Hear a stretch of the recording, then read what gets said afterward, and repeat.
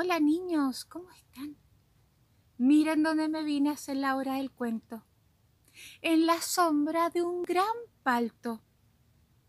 Tuve que venir para acá para presentarles a este pequeño cururo. Los cururos son roedores, como ratones, que viven en Chile. Al principio, cuando lo vi, me asusté pero se veía muy amigable. ¿Y saben qué? Se puso a leer conmigo y me contó una historia. Y él quiere compartirla con ustedes.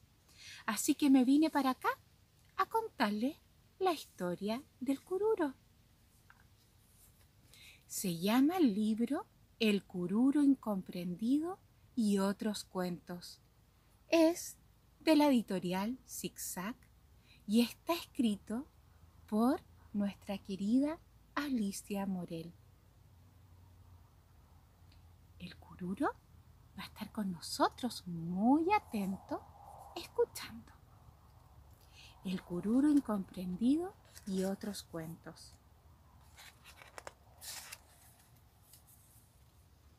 El cururo joven y entusiasta ratón del bosque, iba una mañana cantando por el camino secreto que le servía para transitar. Con la derecha me levanté, por eso salto y caigo bien. La pata izquierda la esconderé, y así este día me irá muy bien. ¡Uy, qué lindo cantas, ratoncito! ¿Cantémosla de nuevo?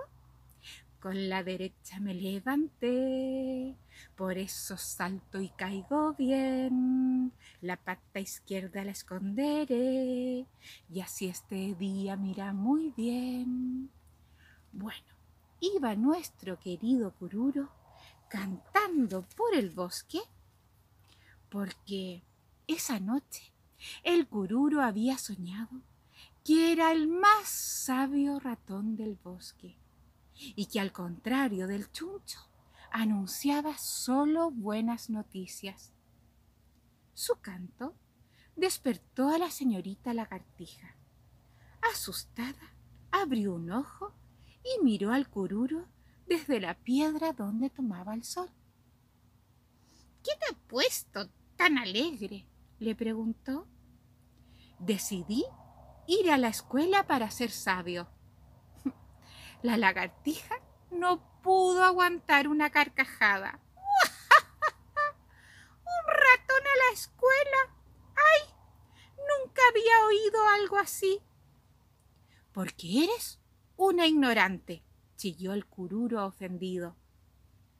¿Insolente? gritó la lagartija, ofendida a su vez. Seré el más sabio del bosque, incluso más sabio que el chuncho. El chuncho es un ave parecido al búho. Y no anunciaré desgracias, sino puras felicidades. Eres un pretencioso, dijo la lagartija. Me instalaré en la escuela hoy mismo. Prefiero ser pretencioso y no un pellejo lleno de sol como tú. La lagartija se quedó muda y verde de rabia. Abriré un agujero en el fondo de la sala de clase y desde allí oiré y aprenderé todo, continuó el cururo satisfecho. Eres el mismo intruso de siempre, logró decir al fin la lagartija. Tengo intrusidad científica. Y con un movimiento de cabeza y cola, el cururo continuó su viaje. La lagartija lo miró alejarse con profundo desprecio y no tardó en dormirse de nuevo. El cururo llegó a la escuela incluso antes que la profesora y tuvo tiempo para abrir un buen observatorio. Uno a uno fueron llegando los niños, algunos a pie y otros a caballo, porque esta escuela estaba en el campo. La profesora empezó una clase que al ratón le pareció muy interesante, pero incomprensible.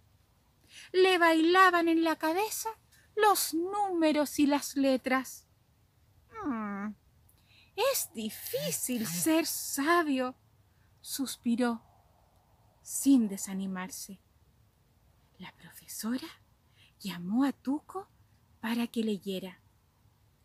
Pero el pobre Tuco, que era un niño igual que ustedes, no daba pie en letra.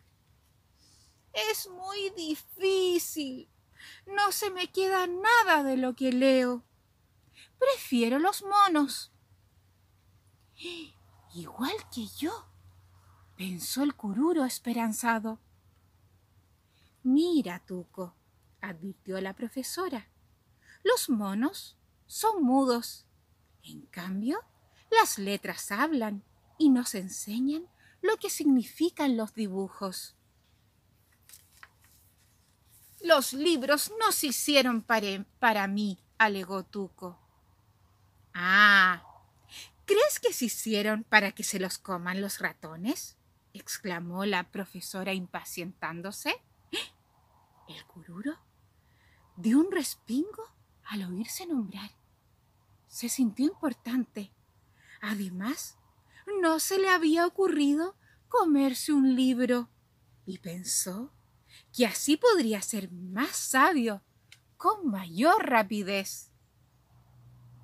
Oye, Tuco, leeremos un libro de aventuras en clase y verás que los monos se te pintan solos en la cabeza, dijo la profesora, sacando del cajón un libro grandote.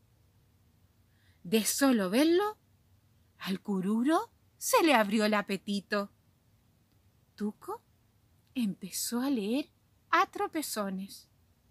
A pesar de la dificultad, la historia no tardó en interesarle, sobre todo cuando continuaron leyéndola sus compañeros y la profesora.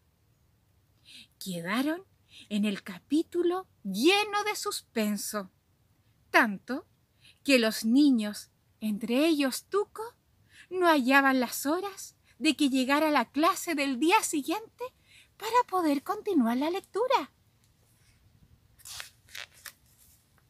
La profesora estaba feliz, pero sin duda el más contento era el cururo, que durante la noche se comió la historia completa con monos y todos.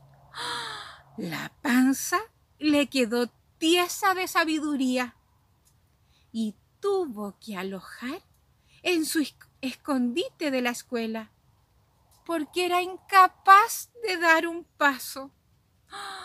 ¡Pobre cururo! Te debe haber dolido mucho la guatita de comerse un libro.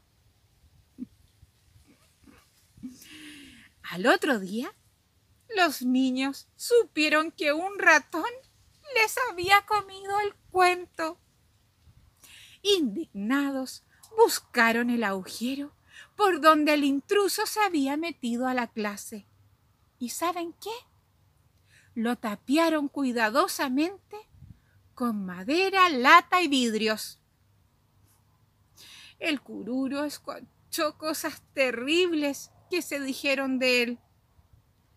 Paso a paso se alejó de la escuela, sintiéndose muy incomprendido. ¡Ay! Pobre cururo. No te entendieron. Le costó mucho digerir el libro, por lo que tuvo que soportar las burlas de la señora lagartija. Sin embargo, no tardó en volar por el bosque el rumor de que el cururo se había comido un libro y sabía mucho. Hasta el chuncho fue a consultarlo para dar sus malas noticias. A pesar suyo, la lagartija también tuvo que reconocer que el cururo se había hecho sabio.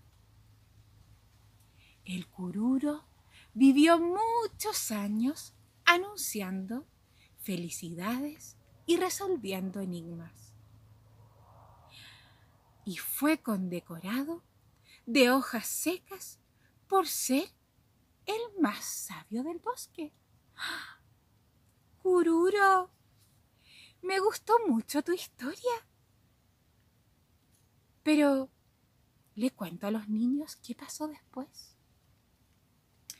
Bueno, a Cururo le costó varias semanas que se le quitara el dolor de guatita. Y después volvió a hacer un agujero en la escuela y aprendió a leer con los niños en la escuela. Y por eso ahora le gusta tanto leer. Y además es el más sabio del bosque. Y colorín colorado, este cuento del cururo ha terminado. A ver si otro día leemos un cuento con el cururo. ¿Les parece? Ya. Adiós. Adiós, cururo. Adiós.